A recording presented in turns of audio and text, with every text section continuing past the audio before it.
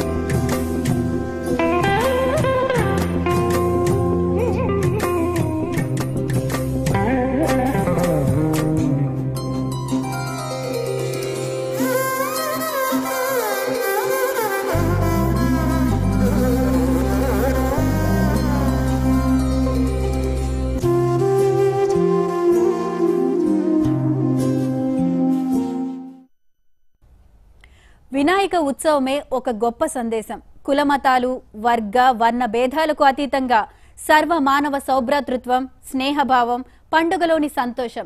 ఇలా అన్నీ కలబోసిన అద్భుతమైన పండుగే వినాయక నవరాత్రులు. ఆ ఉత్సవాలకు మట్టి వాసన జత కలిస్తే అదే అసలైన భక్తికి నిదర్శనం. కెమికల్ విగ్రహాల స్థానంలో మట్టి విగ్రహాలను ప్రతిష్ఠిస్తే అంతకు మించిన సంబరం ఇంకేముంటుంది? కానీ ఆ అవగాహనతో మెలుగుతున్నామా? అందుకే భారత్యుడే పూజ్యశ్రీ స్వామి పరిపూర్ణానంద సందేశంతో ఏటా మట్టి గణపతే మహాగణపతి నినాదంతో జాగృతం చేస్తోంది.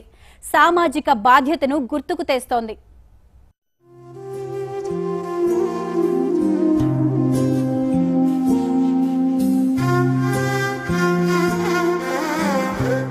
వినాయకుడి విగ్రహాన్ని కొత్త మట్టితోనే చేయాలని మన పురాణాలు చెబుతున్నాయి.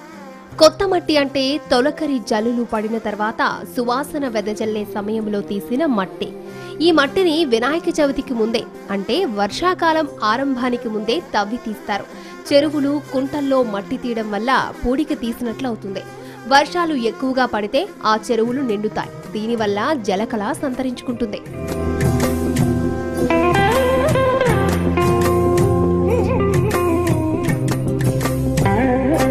నవరాత్రుల తర్వాత వినాయక ప్రతిమను సమీపంలోని చెరువులోనో లేదంటే కుంటలోనో నిమజ్జనం చేయడం కూడా ఆచారంగానే వస్తుంది.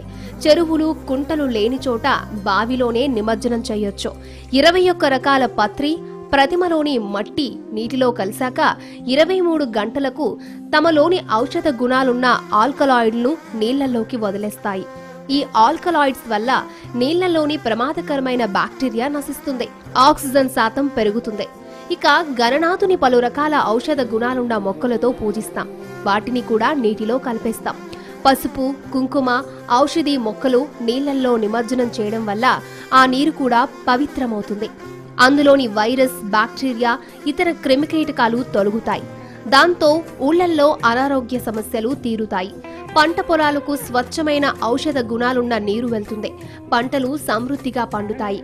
ఇలా ఊళ్ళు బాగుంటేనే దేశం బాగుంటుంది. ఇదే వినాయక నిమజ్జనం వెనుక దాగి ఉన్న పర్యావరణ పరమ రహస్యం.